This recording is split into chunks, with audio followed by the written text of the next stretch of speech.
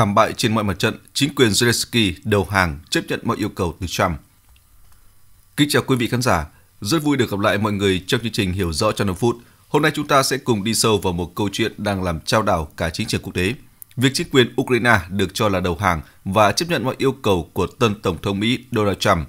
Đây có thực sự là một bước đi mang tính chiến lược, thể hiện sự đổi hướng của Ukraine trong cục diện chính trị thế giới, hay chỉ đơn thuần là những đồn đoán được thổi phồng lên.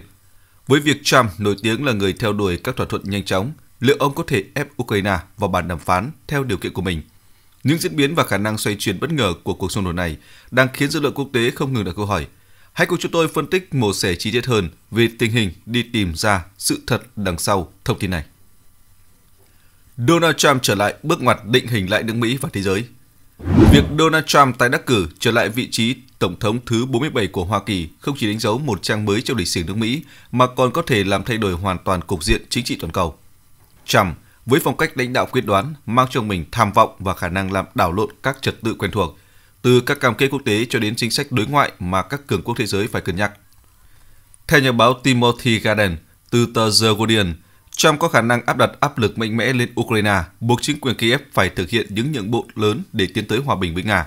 Cách tiếp cận của ông, theo Karen, có thể khác biệt hoàn toàn so với các chính sách mà chính quyền Biden hay những người tiền nhiệm đã áp dụng. Thay vì duy trì hỗ trợ quân sự trực tiếp vốn là nguồn sống cho Ukraine trong cuộc xung đột căng thẳng này, Trump có thể tìm kiếm giải pháp hòa bình thông qua sự ép buộc và mặc cả. Với tư cách là một nhà đàm phán sừng sỏ, ông có xu hướng làm việc với các bên bằng cách áp đặt lực lớn buộc họ phải chấp nhận những điều kiện khắt khe nhất để tránh kéo dài xung đột. Phong cách của Trump không phải là mới mẻ, nhưng lại luôn tạo ra sức hút mạnh mẽ và đầy tranh cãi. Là một doanh nhân, ông nổi tiếng với chiến lược thương lượng không khoan nhượng và sẵn sàng đánh đổi để đạt được điều mình muốn.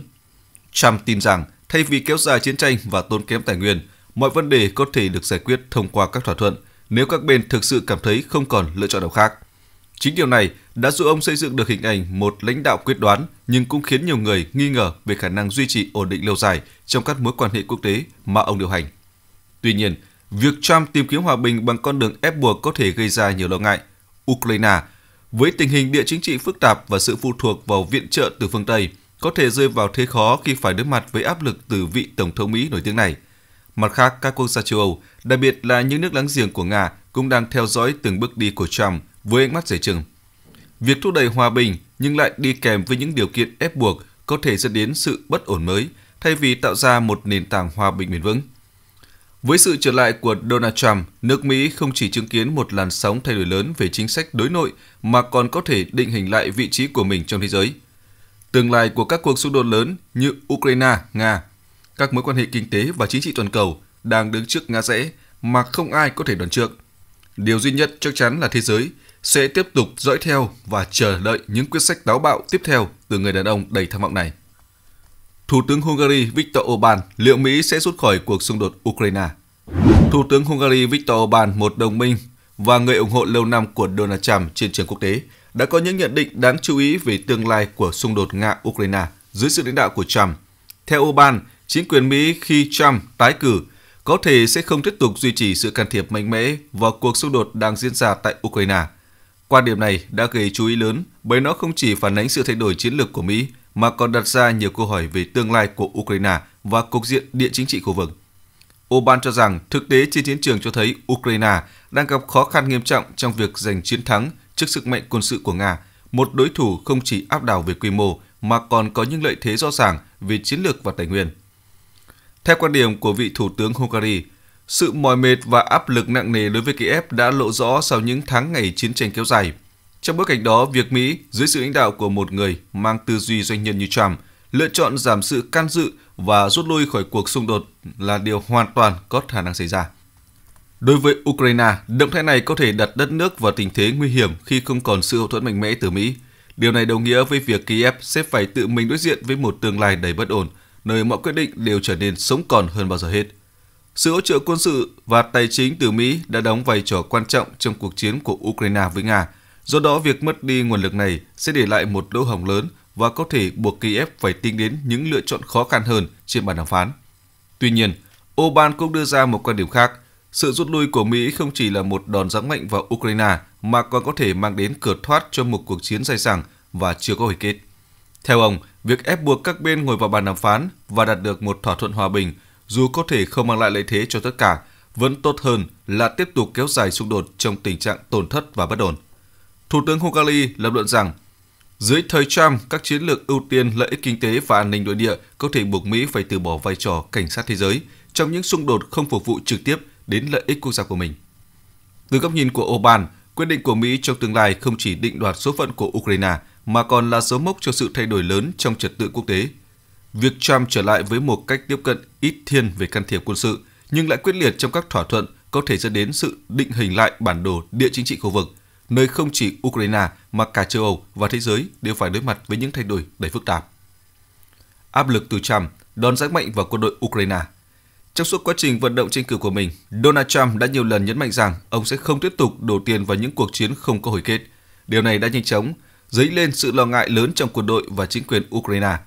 Đối với một đất nước đang phải dựa vào hỗ trợ từ phương Tây để chống chọi trước sức mạnh của Nga, viễn cảnh Mỹ cắt giảm viện trợ quân sự có thể khiến Ukraine lâm vào tình thế hiểm nghèo hơn bao giờ hết. Trump luôn khẳng định rằng trọng tâm của ông là lợi ích cốt lõi của người Mỹ, không phải việc duy trì sự can thiệp kéo dài ở các vùng chiến sự xa xôi – Điều này tạo nên mối lo ngại sâu sắc rằng chính sách của Mỹ có thể quay ngoắt ảnh hưởng mạnh mẽ đến tình hình chiến sự Ukraine. Một chỉ huy của lực lượng phòng vệ lãnh thổ Ukraine chia sẻ với Business Insider rằng sự khó lường trong các quyết định của Trump khiến họ không thể yên tâm. Trump có thể xoay chuyển tình thế theo bất kỳ hướng nào. Điều này có thể khiến chúng tôi phải trả giá bằng máu và mạng sống. Ông bày tỏ.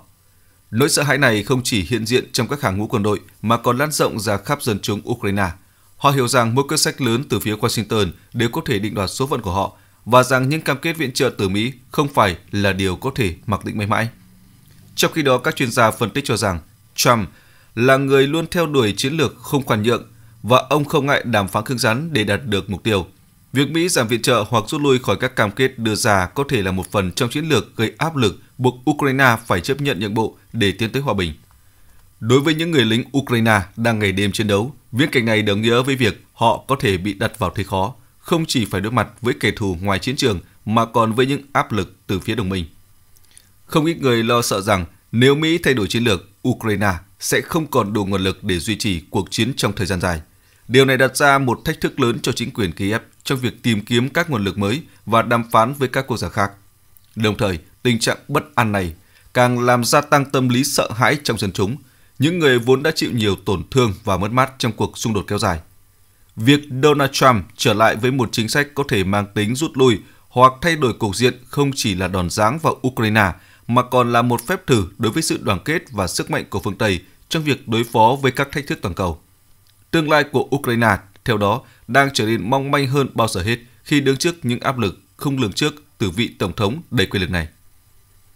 Kịch bản nhượng bộ tương lai mờ mịt của Ukraine theo nhiều chuyên gia phân tích, Donald Trump nổi tiếng với phong cách đàm phán cứng rắn và không ngần ngại sử dụng sức ép để buộc các bên tham gia nhượng bộ nhằm đạt được thỏa thuận mà ông mong muốn. Trong bối cảnh xung đột đang diễn ra ác liệt giữa Ukraine và Nga, khả năng này đặt ra viễn cảnh đáng lo ngại. Ukraine có thể phải đối mặt với việc từ bỏ một phần lãnh thổ hoặc chấp nhận những điều kiện không mong muốn từ phía Nga để tiến tới hòa bình theo những yêu cầu do Trump đặt ra. Đây là một kịch bản có thể gây ra biến động lớn trong trật tự địa chính trị khu vực và đặt Ukraine vào thế yếu khi bàn về hòa bình. Nếu Mỹ, dưới sự lãnh đạo của Trump quyết định giảm hoặc thậm chí rút lui khỏi việc hỗ trợ quân sự cho Ukraine,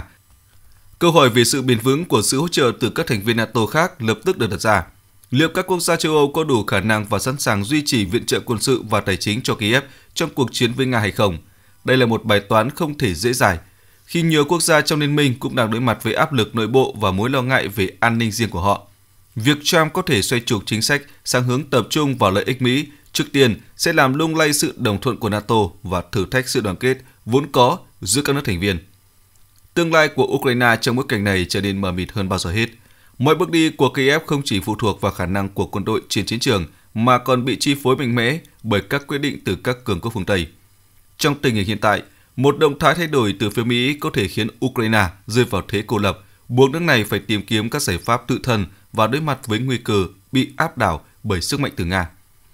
Câu chuyện này không chỉ là bài toán cho riêng Ukraine mà còn là thách thức lớn cho cả phương Tây, đặc biệt là khi cân nhắc về vai trò của Mỹ trong việc duy trì trật tự thế giới và đối phó với các cuộc xung đột. Khi những yếu tố chính trị biến động mạnh, sự ổn định của khu vực Đông Âu và an ninh toàn cầu đều bị đặt vào tình trạng bấp bênh, để lại một tương lai đầy bất chắc mà Ukraine và các nước đồng minh phải đối mặt và tìm cách giải quyết. Tác động đối với chính sách quốc tế của Mỹ và quan hệ Việt-Mỹ sự trở lại của Donald Trump trên chính trường không chỉ gây ảnh hưởng lớn đến cục diện chính trị tại châu Âu, mà còn làm dấy lên những câu hỏi về tương lai quan hệ của Mỹ với châu Á, đặc biệt là Việt Nam. Dưới sự lãnh đạo của Trump, một số lo ngại đã nảy sinh về việc liệu chính sách nước Mỹ trên hết của ông có làm thay đổi mối quan hệ kinh tế và chiến lược với Việt Nam hay không. Tuy nhiên, Michael Carari, giám đốc phân tích kinh tế vĩ mô của VinCapital, mối quan hệ Việt-Mỹ được cho là sẽ không bị ảnh hưởng nghiêm trọng Việt Nam với chiến lược ngoại giao cây trề, mềm dẻo nhưng vững vàng đã chứng tỏ mình là một đối tác linh hoạt và có khả năng thích ứng với những biến động của chính trị quốc tế. Trong bối cảnh thế giới ngày càng đối mặt với các thách thức kinh tế và chuỗi cung ứng, Việt Nam được xem là một mắt xích quan trọng trong việc giúp Mỹ giảm bớt sự phụ thuộc vào Trung Quốc. Hàng hóa made in Việt Nam đã khẳng định được vị thế tại thị trường Mỹ, không chỉ bởi chất lượng mà còn nhờ tính cạnh tranh về giá cả. Đây là cơ hội để Việt Nam tiếp tục củng cố vai trò của mình trong chuỗi cung ứng toàn cầu. Đặc biệt là Mỹ đang tìm kiếm các đối tác đáng tin cậy để đa dạng hóa nguồn cung và bảo vệ lợi ích quốc gia. Mặt khác, quan hệ Việt-Mỹ cũng được củng cố bởi các cam kết hợp tác chiến lược trên nhiều lĩnh vực, từ thương mại, công nghệ đến an ninh. Chính sách ngoại giao khéo léo của Việt Nam với sự cân bằng giữa các cường quốc đã giúp duy trì mối quan hệ tốt đẹp với Mỹ. Điều này không chỉ tạo ra cơ hội phát triển kinh tế mà còn giúp Việt Nam nâng cao vị thế trong khu vực. Trump, nhà thương thuyết tài ba hay kẻ gây rối khó đoán sự trở lại của Donald Trump đã khiến các nhà lãnh đạo quốc tế không khỏi tập trung theo dõi từng động thái của ông với ánh mắt thận trọng và kỳ vọng đa xen, từng được biết đến với những chiến lược đàm phán mạnh mẽ và phong cách không ai có thể đoán trước. Trump có khả năng thay đổi hoàn toàn cuộc chơi địa chính trị từ việc gây áp lực buộc Ukraine phải nhượng bộ trong cuộc xung đột với Nga đến việc thay đổi cấu trúc các thỏa thuận quốc tế. Chính điều này làm dấy lên hàng loạt câu hỏi về vai trò thực sự của ông trong việc thúc đẩy hòa bình hay chỉ đơn giản là gây thêm rối ren cho tình hình vốn đã căng thẳng. Một số chuyên gia đặt ra giả thuyết rằng nếu được trao cơ hội, Trump có thể sử dụng kỹ năng đàm phán của mình để chấm dứt xung đột Nga-Ukraine, mang lại hòa bình cho khu vực Đông Âu đang bị giằng xé bởi chiến tranh. Nhưng liệu điều này có thực sự khả thi hay không? Với phong cách cứng rắn và ưu tiên lợi ích của Mỹ lên hàng đầu, Trump có thể buộc các bên phải nhượng bộ nhưng không đảm bảo rằng hòa bình sẽ được duy trì bền vững. Trong quá khứ, những quyết định bất ngờ và không thể đoán trước của ông đã khiến nhiều đối thủ và đồng minh cảm thấy khó chịu, đã câu hỏi liệu ông là người mang lại sự ổn định hay là kẻ gieo rắc thêm những biến động khó lường. Dưới góc nhìn lạc quan, việc Trump trở lại chính trường cũng có thể mang đến một luồng gió mới cho các cuộc đàm phán hòa bình vốn đang bế tắc. Tuy nhiên, để đạt được điều này, tất cả các bên tham chiến, đặc biệt là Ukraine và Nga, phải sẵn lòng đặt lợi ích của những người dân lên hàng đầu và chấp nhận nhượng bộ lẫn nhau. Đây là bài toán đầy khó khăn khi cả hai phe đều có những mục tiêu và lợi ích mâu thuẫn gay gắt. Không chỉ các chuyên gia mà cả một số chính trị gia cũng không khỏi kỳ vọng rằng Trump có thể trở thành người thúc đẩy hòa bình. Belarus từng đề xuất rằng nếu Trump có thể chấm dứt xung đột, ông xứng đáng nhận giải Nobel Hòa bình, một sự tôn vinh không chỉ vì kết quả mà còn bởi sự nỗ lực vượt qua những rào cản địa chính trị phức tạp. Dù vậy, thực tế vẫn luôn là thách thức lớn nhất. Hòa bình không bao giờ đến từ một phía, và nếu thiếu sự phối hợp và nhượng bộ từ tất cả các bên, mọi hy vọng sẽ chỉ là những viễn cảnh hão huyền. Vì vậy, câu hỏi vẫn còn bỏ ngỏ Liệu Trump sẽ là người mở ra con đường hòa bình cho các cuộc xung đột quốc tế, hay ông sẽ lại trở thành nhân tố làm gia tăng căng thẳng trên ván cờ địa chính trị? Điều này phụ thuộc vào cả những quyết định của ông và cách thế giới phản ứng với những bước đi táo bạo nhưng đầy rủi ro này. Chúng ta không thể không nhìn lại bài học từ lịch sử. Những thay đổi trong chính sách của các cường quốc thường kéo theo những hệ lụy lớn đối với các nước nhỏ và yếu thế hơn. Ukraine trong bối cảnh hiện tại có thể là minh chứng cho sự mong manh và phụ thuộc vào các thế lực bên ngoài – nếu không tự mình xác định được tương lai, số phận của họ có thể bị quyết định bởi những cuộc đàm phán, nơi mà quyền lợi quốc gia thường phải được nhường chỗ cho các thỏa thuận mang tính chiến lược của các cường quốc.